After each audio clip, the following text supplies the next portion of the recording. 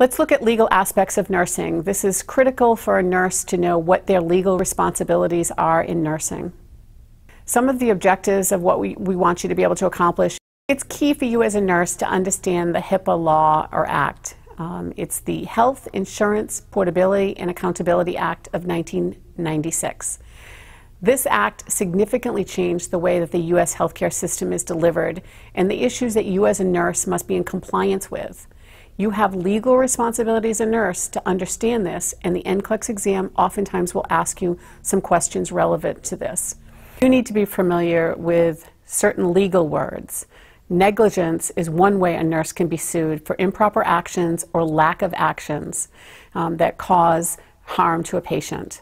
There are standards of care that are um, established by the National Board of Nursing and state boards of nursing, as well as every hospital and healthcare setting has their own policies and procedures that you need to be familiar with um, because that's going to be the level of standard of care that they expect you to provide to your patient. So let's go through a couple um, types of torts. Assault and battery are one type of torts. Uh, assault is the threat of committing a, a harmful uh, force, physical force on a patient. Um, if you, uh, for example, if you don't take these medications, I'll force them down your throat.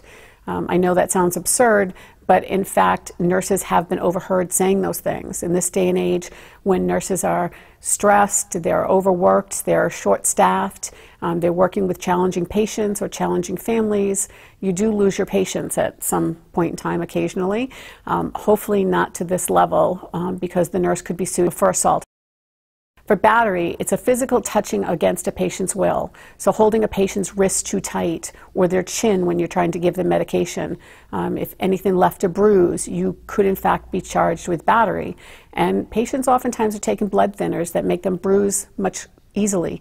So you need to really be considering when you're touching a patient, how, how firmly you're holding a patient or touching a patient. The next one would be false imprisonment. Um, it's the unlawful restraint of a patient against their will preventing a patient from leaving a certain area, such as their, their room. Um, if you left a patient without a wheelchair or walker or crutches, you are in fact um, false imprisoning them in their room. They have no way to get out. Um, I know that might seem a little extreme, but you, you really need to think about um, a nurse saying, well, fine, I'll be back, and then not realizing that the patient doesn't have any way to get out of their bedroom. Defamation of character.